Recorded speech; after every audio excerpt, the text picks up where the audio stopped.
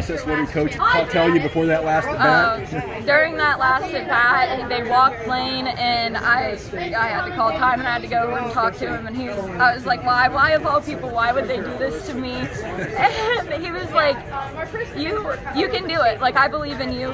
You need to have confidence in yourself. Just visualize where you want it to go, and it's gonna happen.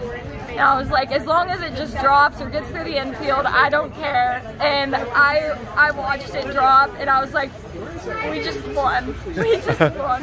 What I mean, that's another walk off. This one for the state championship. What is it about this team that allows you to stay calm in the biggest moments?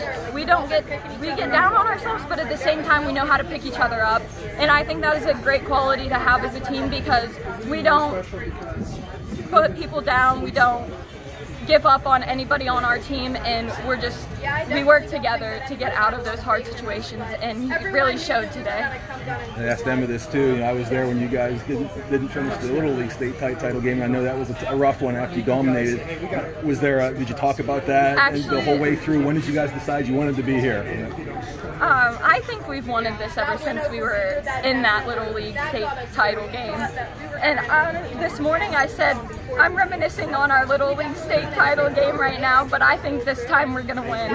And we did, and I've never been so proud of a group of girls in my life. Does it feel as good as you thought it would or better? It, it feels so much better than I thought it would. Like I, like I envisioned all night last night, I was trying to fall asleep and I just couldn't, I just kept envisioning us either winning or losing and I was like, we gotta win. Like we gotta prove to Clearfield County that we can do great things and we did.